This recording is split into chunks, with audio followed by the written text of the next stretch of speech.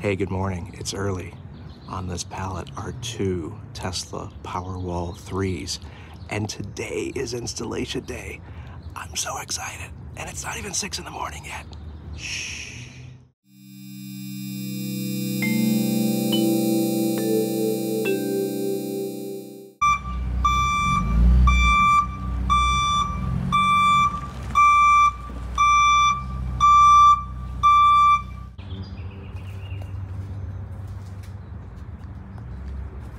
Did your electrical work? It's clean. Over my shoulder right here is Tesla Energy. It's their truck that uh, showed up this morning. They are installing Tesla Powerwall 3s to my house. And I wanted to take you through a little bit of the process of uh, how it all works and what to expect if you're deciding to do this uh, for your home.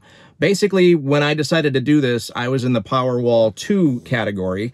It took a while for Tesla to actually respond to me because at the time, Elon Musk said that if you have existing solar, you can't put Tesla Powerwalls on your house. Well, then he eventually loosened that up and said, you can still have regular solar that's already there and we'll come and install that. So once that opened up, it turned out Powerwall 3s were about a month away from being released. So I waited that month. I put in my request. You put down a $100 deposit just to kind of prove that you're uh, serious about this whole thing. I think I waited a week or so before Tesla contacted me, and then the ball starts rolling, and they are definitely good with communication. I will give them that. Once uh, that process happens, it starts uh, moving I don't want to say quickly. There is a lot of waiting involved, um, but you've got uh, forms to fill out and uh, you've got an inspection that a guy comes out and, and surveys the area, takes lots of pictures, measurements, all that sort of stuff, uh, and lets you know what you need to do if you need to fix anything, uh, move anything, all that sort of stuff.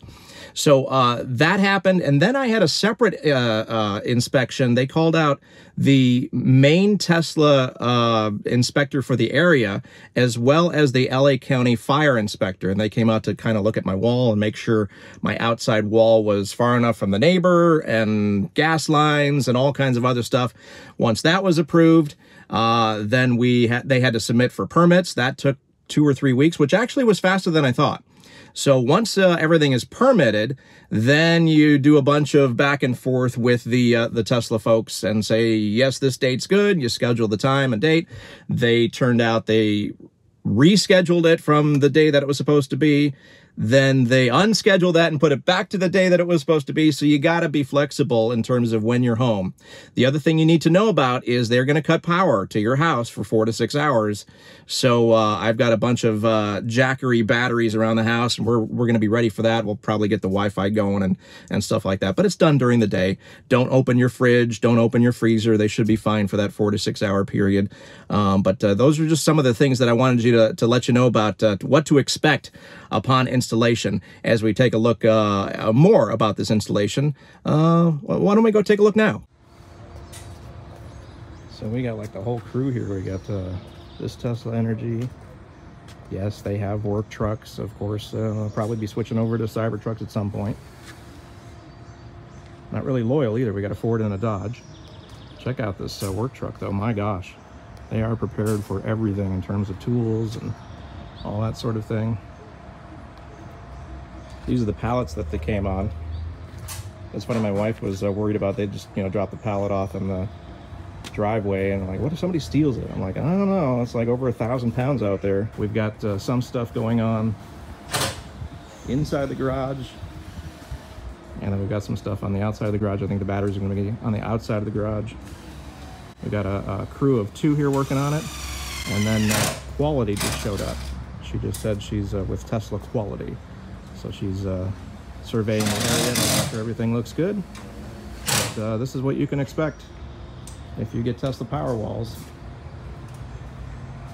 You're gonna kind of tear apart your house for a little bit, but it's temporary. I've been giving the Tesla crew, uh, you know, nice cold waters and sodas all day, and I'm doing a little afternoon coffee run from Starbucks you know, just uh, keeping them going and uh, a little something nice for the for the Tesla crew installing our power walls.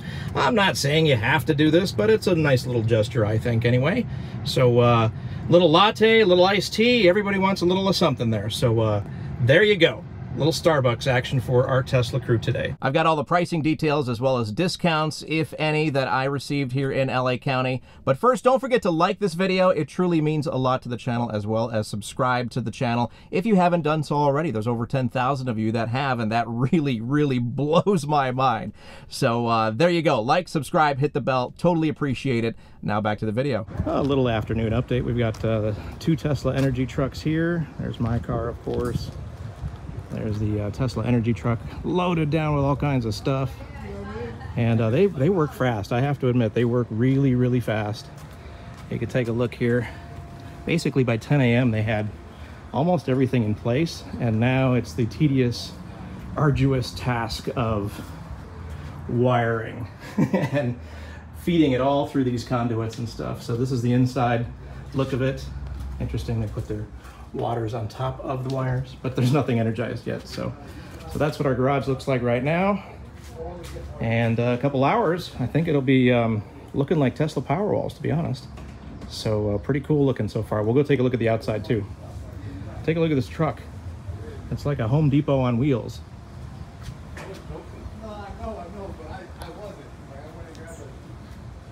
Uh, speaking of Home Depot, nailed that one. Well, here they are, the Tesla Powerwall 3s.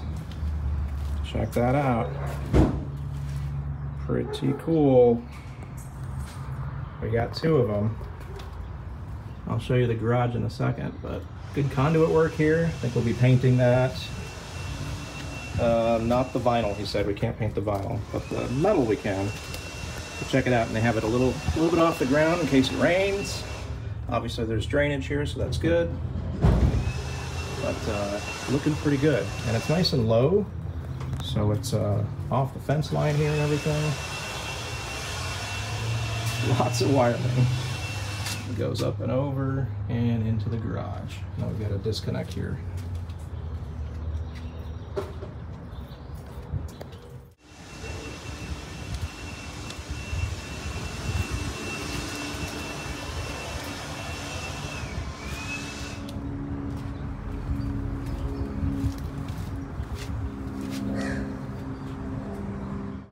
There they go. They were here at 7.15 in the morning and they are leaving at straight up 6 p.m. Done job, well done, well job done, something like that. It's pretty quick. So they had two guys, two installers, and one quality control person that was here all day. Here's a take a, if you want to take a look at the, uh, the garage install, all this conduit is new. The one running down from the ceiling was there already. And it goes over here to the uh, control unit, which is right there in the white. And then they actually give us a new breaker box, which is connected to the other breaker box. So that's what uh, goes on on the inside of this particular install. Everybody's install is going to be different, of course. And then uh, take a look over here. We've got the uh, disconnect, and then we've got our power walls in there behind the fence, which is pretty cool. So uh, they said they don't recommend painting the PVC, but we can paint the metal piping so that it'll match the house and make that look nice and stuff. Oh, so the best part of the installation, they left me this sticker. This is gonna be satisfying. There we go, look at that. We get a close-up of that. That's what it's all about right there. all right, I've got the uh, pricing details right here on uh, a piece of paper. I'll also throw it up here on the screen so we can uh, review it together so you know what to look forward to when you are pricing this out for your home. Obviously, my situation is going to be different or slightly different than most, but this is going to give you a rough idea as to what to expect in terms of pricing. So I got two Powerwall 3s coming in at $14,600. Uh, installation is $6,900. One gateway uh, which I showed you. That's the in the garage. That's kind of like the conductor of the whole thing. It tells power where to go and all that kind of stuff. It's kind of cool. Uh, accessories 200 so i got a referral bonus for being a tesla customer. I have two teslas so i got the referral bonus of $500 and then a multi-unit discount because i decided to get two power walls instead of just the one. So if they're at uh, 14.6 you divide that by in half that's uh, 7300 and then you deduct 22 from that. 2200 it's in the five range for that second uh, power wall which is pretty cool uh, put a hundred dollar deposit down so grand total with the uh, $100 deposit and all of the stuff included that I'm showing you right now, $21,035 uh, is, is the total for this complete installation that I have showed you.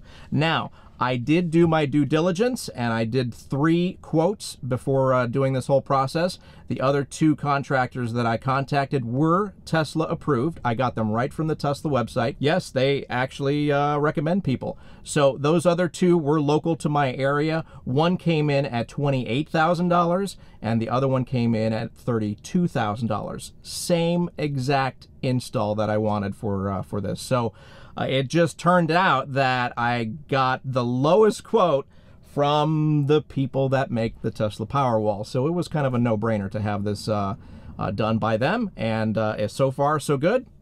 I'm pretty happy with it. One thing I gotta let you know before I go, and I'm gonna be doing other videos on this system, of course, giving you all the specs and details and all that kind of fun stuff, but one thing I didn't expect is I'm addicted to the app for this thing. It's the, of course, the Tesla app that I use for the cars, but if you swipe, all of a sudden you got your house there and it's got all the details of solar coming in and power coming in from the grid and how much you're using and where it's all going. And as soon as you turn an appliance on, you know exactly how much it's using. And uh, it's it's crazy to think that a coffee maker, believe it or not, uses a ton. Obviously, I already knew about like toasters and toaster ovens, but a coffee maker, I wake up in the morning and my house is using it. Oh, it's making my morning coffee. It's a lot. I think I'm going to do a video of how much your house uses and what Powerwall does with it at some point. That might be a fun video. So once again, thank you so much for watching one of our Tesla tips and trips videos. My newest uh, Tesla edition is now part of my home. So uh, once again, thank you so much for watching. We'll catch you on the next video. And don't forget to like, subscribe, and hit the bell. I'll see you on the next video.